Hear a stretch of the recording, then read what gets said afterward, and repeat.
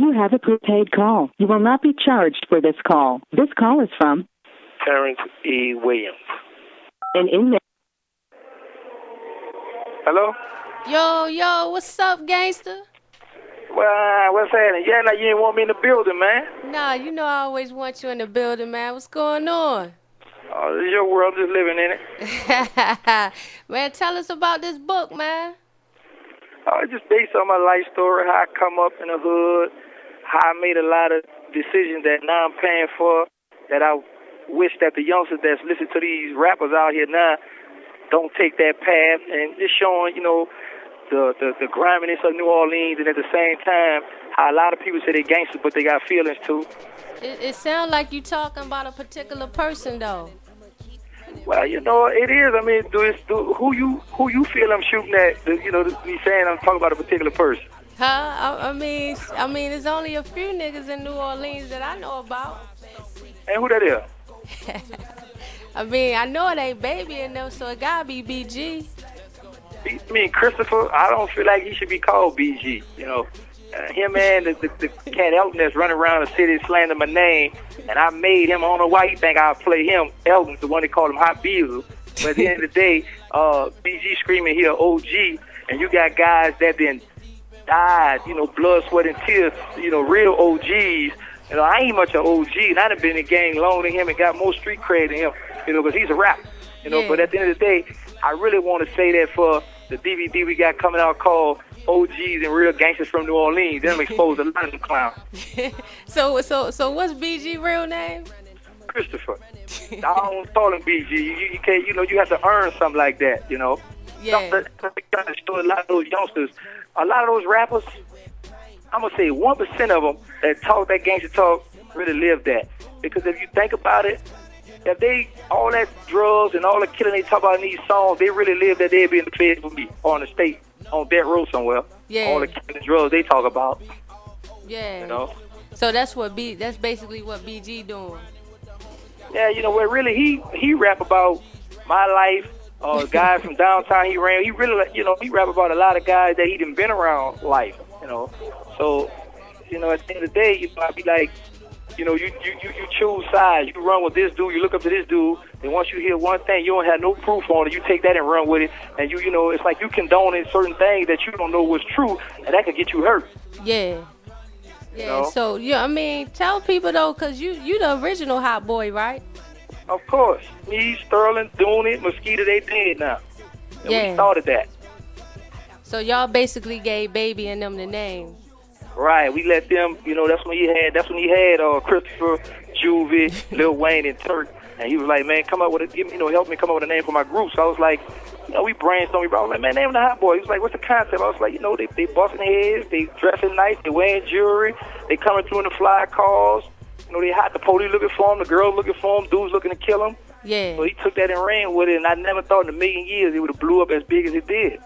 So you basically gave um you basically gave them the thing about be um bling bling. No, not. I, I can't just take that credit because you know, down there is so many guys. This is what I love about New Orleans. You can't just point out one person and say, okay, he's the most feared person in the city because there's killers all over the city. You know, and there's guys all over the city that's been rocking jewelry, been doing their thing way before my time. You know, so Wayne actually came up with it on BG, on, uh, on Christopher, my pardon me, on Christopher album. So so so what so so so what's your relationship like with you and baby? Oh, it's a hundred. I mean, Stunner and Slim been there for me since day one, since I've been incarcerated. They've been the only ones that's really been holding me down besides my mother and my grandfather. And my children, man, they come through from time to time for me, but Stunner been holding, I'm talking about a thousand with me. He been holding it down for me. Yeah, so you probably eating better in there than I am out here. I mean, well, you know, the fan feed is three times a day anyway, but at the same time, you know, Birdman, From a federal prison. Birdman say he flying any weather, so it is what it is, you know. I'm blessed, you know. Yeah. I can't complain. How you how you feel about the snitching that's going on out here though? You know, at the end of the day, a lot of guys want to play the game, but when the people come at that time, they want to point the finger at this one and that one, and that's not cool because you want to bleed the block, you want to run the streets, you want to have your chest out And then when the, when the, when the alphabet boys grab you, now you want to tell everybody and their grandma, you know, that ain't cool. You know, then then you got to keep in mind that you know you putting bringing your family in harm's way. You know, I mean, there's a lot of guys that talk that talk but can't walk the walk. Know, so uh, my advice to them is to leave the game alone and fall back. Go get your job at McDonald's. It's cool, you know. a, lot, a, a, lot of guys, in, a lot of guys in prison flip hamburgers on Wednesday, hamburgers and fries. Uh, every morning we got trash calls, so it's cool to go get your go swear up, man, because you got your freedom at the end of the day. Yeah. So you you you know any snitches you want to put out here?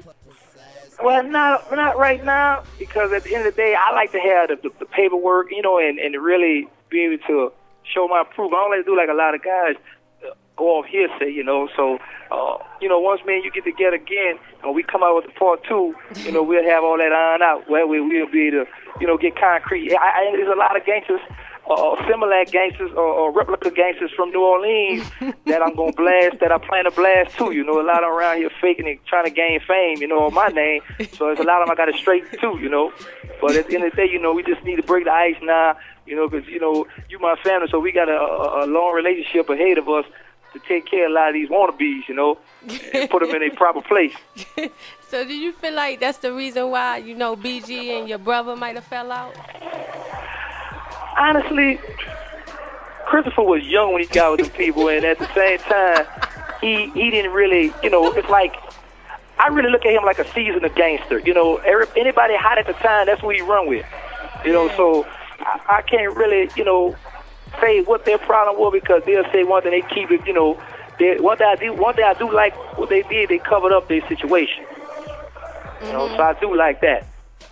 So but at the end of the day, so you so you basically saying they did a good job? Is you just saying BG or you saying like um, juvenile too? I mean, they hold they whole little camp, they whole little situation. What I'm saying is, at the end of the day, they all come up together, grinding together. So, you know, once you, you know, it remind me like how when we was young, you know, like when you be selling dope when you young, and you got a bunch of guys, you collect all the money, you be like, okay, look, let's go shopping. Yeah. So now if you're gonna uh, take this, you're gonna take this kind of situation. At the end of the day, once you go to getting older and you realize, man, I want some more money, and people start getting in your ear, then you want to scream. I mean, that's on you from the start.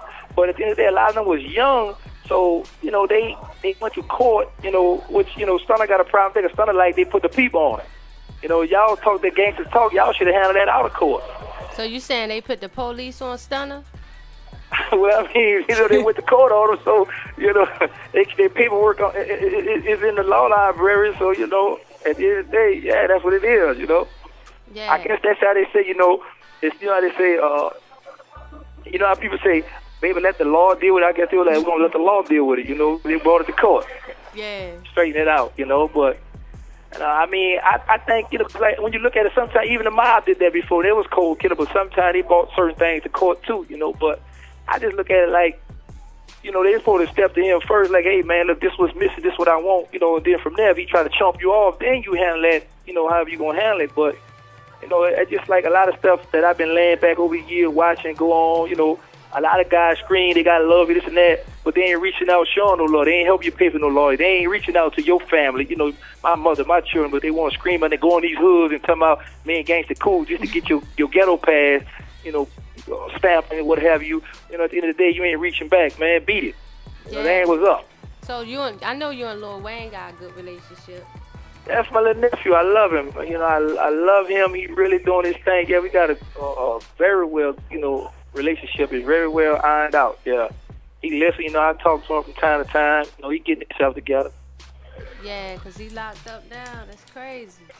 Yeah, we to be home next week. God will on the fourth, the same day of my birthday, November fourth. when you when you gonna drop that book? When you planning to drop it? You know what? I had plans for December, but at the end of the day, uh, I got so many people now. Uh, Freeway Rick out of Cali want it. Stunner want it uh, my my people Tracy Taylor, you know, she want to put out herself. So many people that's like, I want, it, I want, it, I want it. So, you know, I, I, me and my mother been talking, so we trying to, you know, decide what would be the uh, best avenue to take, you know, to put the book out. And, and what is your book basically about? My life story, growing up in New Orleans. You know, the the the the, the, the cutthroatness of the city. You know what I've been through, what I've seen. You know, not that I, not what I heard, Uh, you know, I'm not a, you know, the hot boy. You know, we we we didn't bust raps, we bust caps. So you know, I'm just showing a lot of people like, okay, this is what I did, this is what I've been through. I've been shot several times, colostomy bag, stabbed, you know, almost died. You know, I've been through a lot of stuff, and at the end of the day, now I have a life sentence. You know, Call is from a federal prison. so now if you want to choose that life, this is what comes with that life. Being in prison for life. Yeah. I So just- so you know, so just what, really- so what you what you got now? You got